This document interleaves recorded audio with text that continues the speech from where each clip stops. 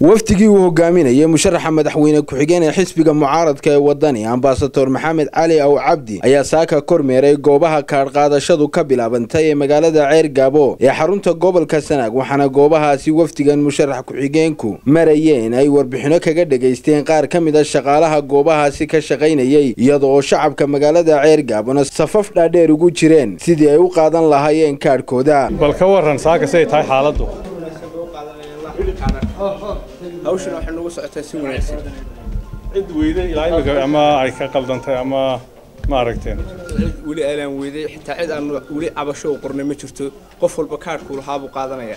Kormeerkaasi kadibna waxaa warbaahinta ugu horreynba la hadlay. Guddoomiyaha xisbiga mucaaradka ee wadani ee gobolka sanaag maxamed jaamac xasan daadey iyo qaar ka mid ah mas'uuliyiinta sarsare ee xisbigaasi. Maanta waxaan waa maalintii kaadh qaadashada ugu horreysay gobolka sanaag khaasatan degmada ceerigaabo goobaannu soo marray si fiican bay uga socotay. Fariintaan diraynaa waxaa weeye ha la qaato kaadhka kaadhka ha la qaato.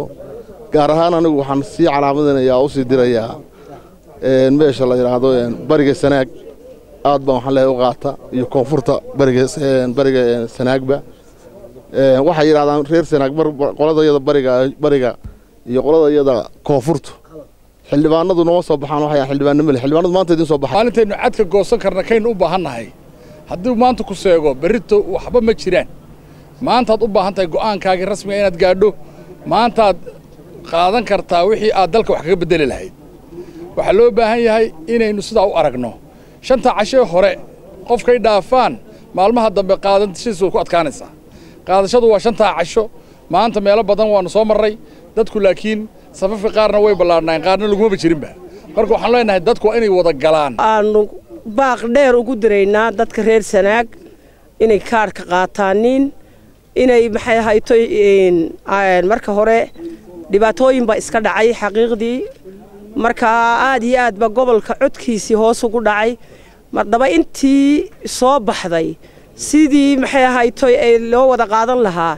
Waa in maxay ahaytoy xil layska saaraa dhallinyarada mar labaad iyo mar saddexaad iyo mar afraadba waxaan u soo jeedinayaa maadaamaynu nahay tirada ugu badan ee codayayaasha somalilan in sanaag dhallinyaradeedu ay xariiqaan doorashada guusheeda ooy kaadhka qaataan si ay mustaqbalka ugu doortaan xisbiga cadaaladda iyo dhallinyarada ee waddani. Magaalada ceergaabo dawladdii hoose waxaan leeyahay dadweynaha reer ceergaabo kaadhka ha la qaato waxaynu isbeddel ku dhalin karnaa waa kaadhka waxaynu mustaqbalkeenna iyo masiirkeenna ku raadin doonaana waa kaadhka musharaxa madaxweyne ku-xigeen ee xisbiga mucaaradka ee wadani ambasador maxamed cali aw cabdi oo gebagabadii halkaasi ka hadlay ayaa dadweynaha gobolka sanaag ugu baaqay inay qaataan kaadhkooda codbixinta.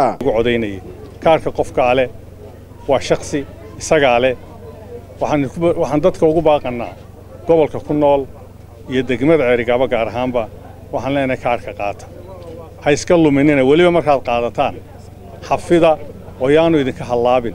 In badan baad haysanaysaan doorashooyin badan baad ku gelaysaan ugu yaraan saddex doorasho. Cabashooyinkii gobolka laga seegi jiray ee hadda halkan laga sheegayna waxaa idinka dabooli doonaa kaadhka inaad qaadataan kaadhka qaata ku codeeya idinkaa leh yaanu idinka hallaabin yaanu idinka dhumin. Ha xafido kaadhka cabdiraxmaan axmed ilsar star t v magaalada ceer gaabo